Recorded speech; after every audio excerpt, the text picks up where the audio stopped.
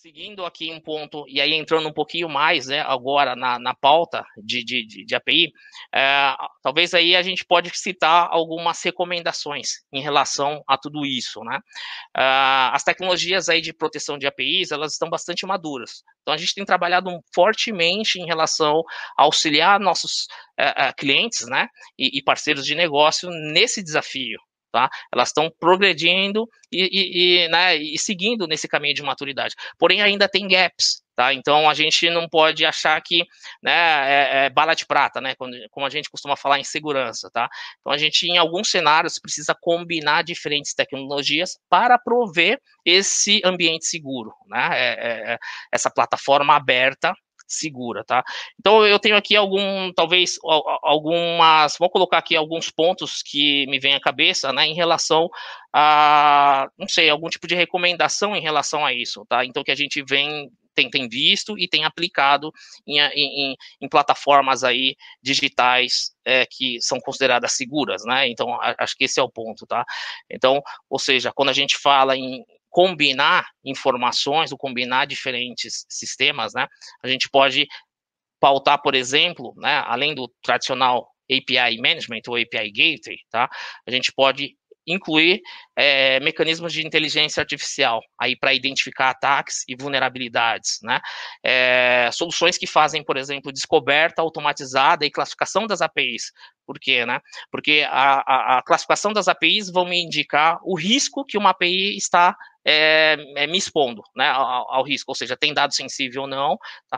E o Discovery é justamente para tentar identificar o Shadow IT, ou seja, eu tenho áreas de negócio publicando APIs que não estão é, com controles corretos. É, o meu baseline de segurança é, está sendo aplicado devidamente na minha esteira ali, né, de publicação de APIs, de lançamento de serviços, lançamento de produtos, tá? A, a, agregar mecanismos talvez aí que fazem análise de risco do contexto do acesso às APIs em tempo real.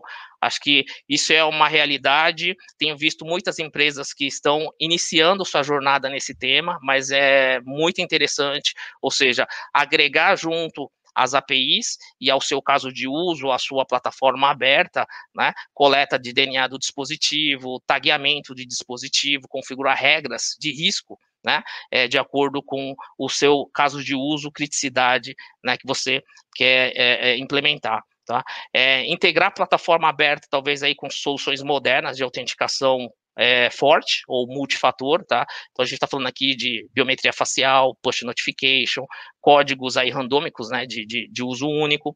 Ah, não dá para esquecer da infraestrutura de, de borda, então, quando a gente fala de, de uh, é, posso citar aqui, por exemplo, o AF ou né, o Web Application Firewall, é, CDNs, justamente para mitigar ataques conhecidos aí, né, conhecidos e, e, ataques distribuídos. Talvez um grande exemplo é a negação de serviço.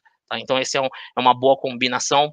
É, testes, acho que nunca é demais, e testes de segurança logo no início do ciclo de desenvolvimento, né, o, aí o tal do DevSecOps, tá, e monitoramento contínuo, acho que toda vez que se publica APIs na sua infraestrutura, na sua plataforma aberta, né, você tem que ter o um monitoramento das novas que estão entrando e das que já estão lá, se a, o seu baseline de segurança continua aplicado e está sendo aplicado corretamente dia após dia, tá, uh, Bom, com isso a gente consegue aí quantificar, categorizar e até mesmo priorizar correções em relação à segurança uhum. das APIs, tá?